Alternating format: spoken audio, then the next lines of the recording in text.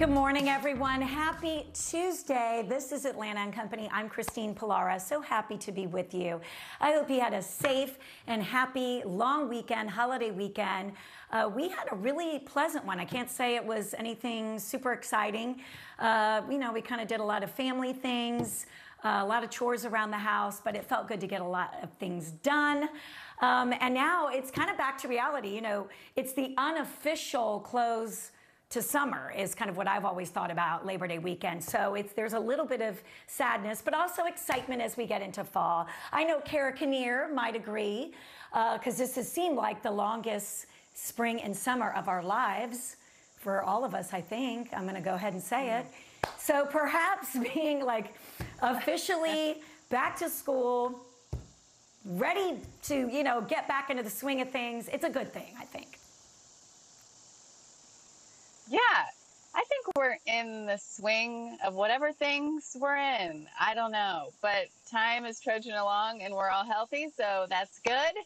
And we're going to start this week off with some great yes. stories to get y'all in a good mood in case you're not. Hope you had a relaxing weekend yes. to everyone out there. Um, we're going to start with a little homecoming for a very special family, the Deleshaws. Now, 11 Alive we had video of their homecoming last week, but we just at here at Atlanta and Company, since we celebrate babies, we wanted to send you a, a special greetings and we welcome do. home. So the Deleshaw family, um, Courtney, the mother, uh, had quadruplets in January, and how can you imagine how crazy it must oh have been God. for not only to bring four no. beautiful humans into the world, but then to have them in January and then to go through a pandemic uh, because they had some issues. So they were put into the NICU. So they got to go home just last week.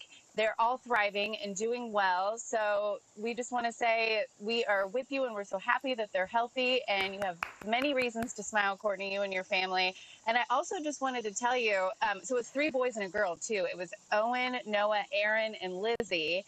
And when I started reading about her and um, so just thinking about all the things she must have been going through and how all the procedures in the hospital must have been so um, interesting, and then add COVID into it, uh, I wish I could have held your hand, Courtney, right. while you were going through that. But my girlfriend from high school had quads. She has a very popular blog. It's called 4tunette.net.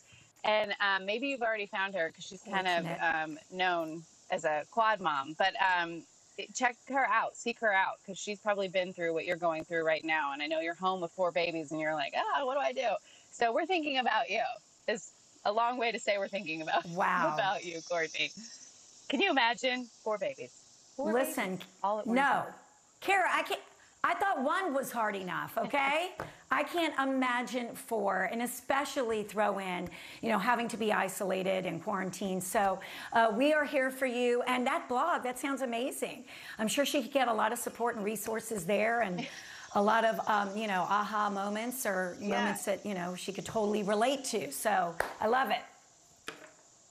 Exactly. Wow. I remember my girlfriend Jennifer had this video that she had sent me shortly after when her quad started eating and she had this table made that was a big circle like a donut and she sat in the middle and she kind of piv- pivoted on a chair and fed all okay. her children. It was amazing.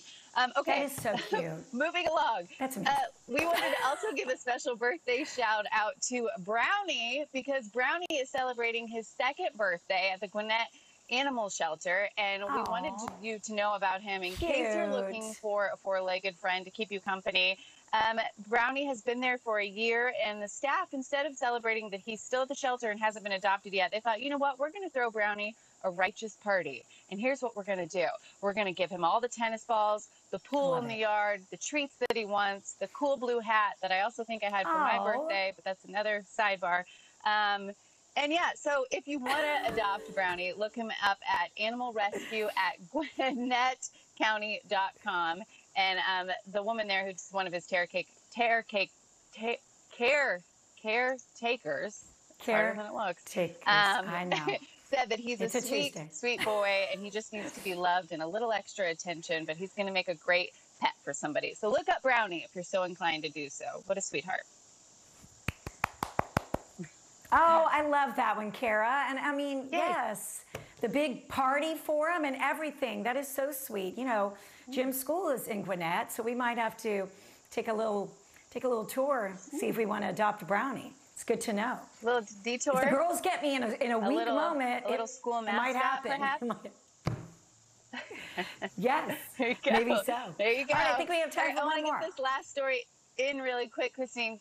Okay, good, because I think you're going to be amazed by this incredible human being. So, in a week's time, the world's, the country's oldest veteran, Lawrence Brooks, is, Brooks, is going to turn 111 years old. So, Mr. Oh Brooks Oh normally has a party in New Orleans at the World War II Museum because he was stationed in the Pacific in the 91st Engineer Battalion.